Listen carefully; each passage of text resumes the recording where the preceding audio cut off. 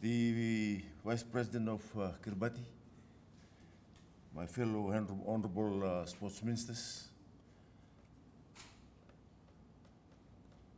honorable uh, delegates, respective uh, dignitaries, and uh, respective officials, ladies and gentlemen. Bula vinaka again and good morning to you all uh, this morning. I would like to officially uh, welcome uh, all of you uh, to the day one of the sixth Pacific Sports uh, Ministers meeting here in Fiji. Honorable Ministers, ladies and gentlemen, I hope uh, you had a good night rest and are ready to engage in deliberation this morning. I also wish you all a very happy and a blessed Easter. It is the Pacific way to appreciate openly shared in its uh, other celebration. And today it's uh, very important to majority of uh, us in the Pacific.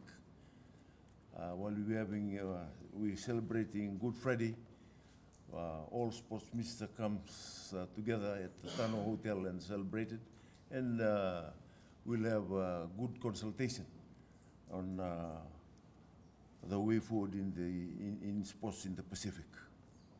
I also apologize that you are away from home, away from families during this, time of celebration. However, we all must be aware of the bigger agenda that is uh, in front of us and uh, will impact our bigger Pacific family in the areas of uh, sports development in the Pacific.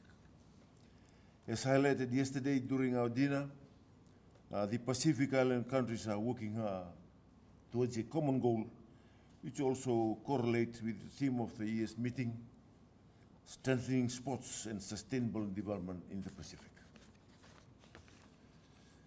The two-day agenda has been uh, set uh, for us, and this uh, provides us an opportunity as leaders to highlight areas in sports that need uh, attention to our individual countries.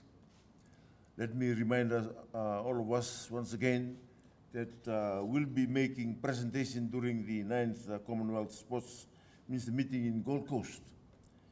Australia and the Pacific shall be represented in unison uh, while delivering the presentation. That it becomes imperative that we share our concerns, best practices, and learning experience that can assist us and also assist one another to pro- propel sports in our countries. We are to, show, to show the world that uh, Pacific Islands countries are sport-loving people and are equally capable of representing athletes that compete with the rest of the world. We have proved this in uh, the rugby leagues uh, when uh, Tonga met uh, England. Uh, we proved that Australia can play with, uh, with, uh, with the Fijians in the semifinals. And we proved to the world that we can do it in the Pacific.